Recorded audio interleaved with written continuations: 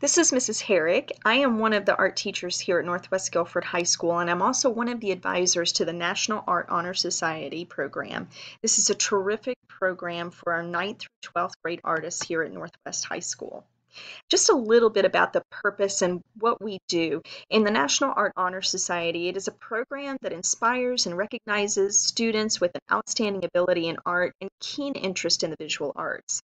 The National Art Honor Society brings art to the attention of the school and community, and it furthers the creative abilities and talents of the Society's members. This is more than just an art club.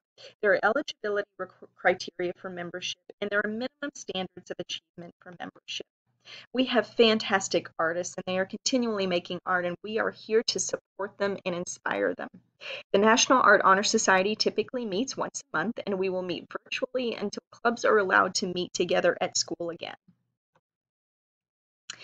Few criteria for the membership. You must be a 9th through 12th grade student. Eligible candidates must have a minimum art scholarship of a B average. Students must be enrolled in art currently or have taken art in high school for at least six months. Students must attend all meetings and should miss no more than three for the entire school year. So how do I sign up? You need to go to the Northwest Visual Art website and click on the link for National Art Honor Society. There's a membership form available online. Once you have applied, you will be notified by Mrs. Herrick or Mrs. Hamill regarding your membership and the link to the National Art Honor Society Club Teams meeting. How much are the dues for the National Art Honor Society? They are $10 per year per student. The dues help to pay for some of the supplies that we use as well as membership into the National Art Education Association. So what do we do in National Art Honor Society? The most important thing that we do is we spend time creating artwork together. At almost every meeting, you'll be making work from um, of art that we wouldn't normally do in the classroom studio or as a classroom project.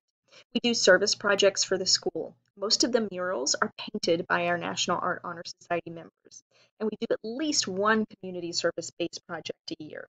We also have a formal induction ceremony at the Weatherspoon Art Museum for all of our new members.